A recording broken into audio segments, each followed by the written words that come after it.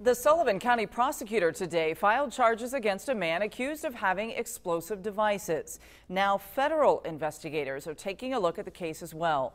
News 10's Joe Ostrowski talked to the deputy Sullivan County prosecutor today. Joe, what can you tell us? Well, Patrice, this all started on Friday when police arrested Blake Bowles on a warrant. When they checked his pockets, they reported finding two pipe bombs. They say when they went to Bowles' home on East Washington, they found five more of those pipe bombs. And they also reported finding a booby trap device made of a propane tank and a shotgun shell. And they reported finding items used to make meth. Earlier today, county prosecutors charged Bowles with a series of crimes, including possession of a destructive device, dealing meth, possessing drug-making material, maintaining a nuisance, and possessing a syringe. Now, authorities say charges like these, dealing with explosive devices, are unusual.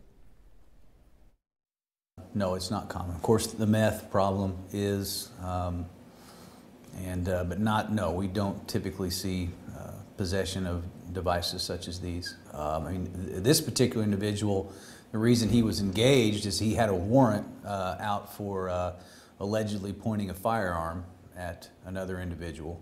Now, Deputy Prosecutor John Springer says investigators are checking out those other devices found in Bowles' home. And he says federal officials have also been in town to check on the devices. No word yet on any federal charges in this case. Mark, Patrice, back to you.